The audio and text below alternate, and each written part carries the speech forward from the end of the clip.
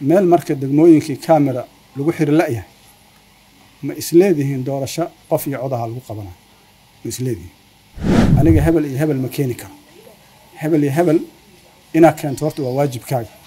Maxaa yeele waxaa kugu farad yeelaya meesha aad joogto bosishinkaaga haddaa keeni weysana xaq waxaa u leeda inaad tidhaahdo war raggan aniga waa keeni waaye halayla doono maanta waxaan ognahay somalilan ayadoo dhow ayaa laga ilduufay waa fogaatay.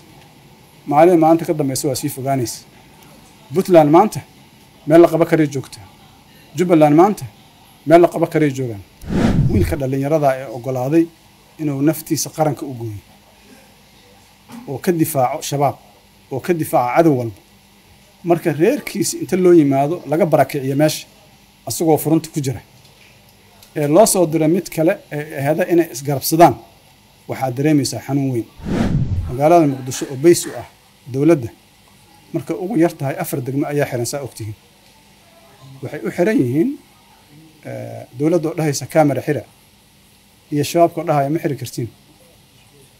Laba degmo aa idiin soo qaadanaa midna waa degmada kaxda degmada kalena waa degmada heliwaa meel marka degmooyinkii camera lagu xiri la'yahay ma isleedihiin doorasho qof iyo codaha lagu qabanaa ma isleedihiin arrintaas waxaan is leeyahay waxaa ka fiicneed waxaa dhumay focuskii ama wixii muhiimka ahayaa dhumay. Waxaa muhiimka waxa waaye laba shay. Wada jirka ummadda iyo wada socodkeeda iyo amnigooda in la sugo labadaas haddii dowladda hadda jirto ay ku mashquuli lahayd maanta waxaan aaminsanahay meel weyn ay gaari lahayd. Cid walba oo soomaaliya iyo cid kastoo soomaalida jecelna waxay uga heli lahayd taageero. Laakiin marka loo leexday dana shaksi ah waxay keentay in la isku dhaco.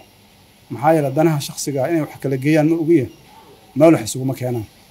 Wixii nidaaminaya waa dastuurkii dastuurkiina waa lagu tuntay oo waxa aragteena dhacay. Taas marka waxay sii waxay sii xoojinaysaa haddii lagu sii socdo in la sii kala fogaado. Siyaasiga marka raba inuu wax ku raadiyo khilaaf dhexdooda. Ani waxaan is leeyahay waxuu ka ambaday dariiqi saxda ahay ummaddan wada jirkeeda ayay macno ku samaynaysaa. Maantana maalin looga baahi badan yahay ma jirto. Qofka jooga ee madaxda ah maanta waxaa ugu muhiimsan inuu istifmaarsado ama ka faa'iidaysto.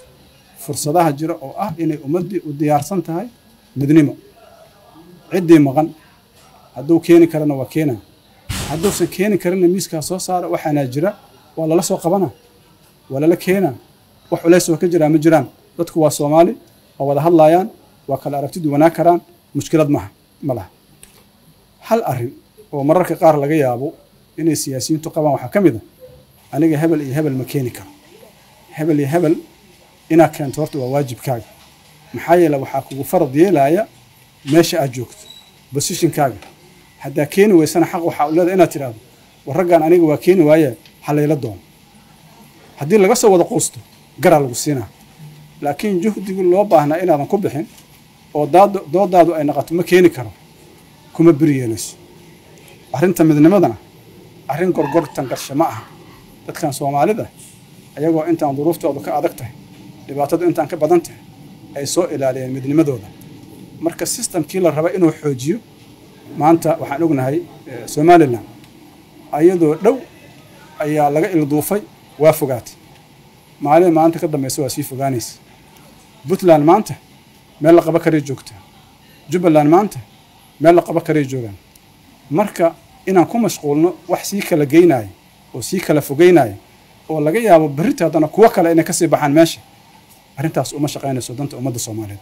Waxaan aaminsanahay inay tahay yacni wixii loo baahnaay oo laga ilduufay oo lagu mashquulsan yahay wax wax aan la hana karin oon laga shaqay karin oo ah one man one vote dadkan dhanaa wada rabo maxaa adiga kaligaa ugu cararaysaa maa miiska soo dhigtid?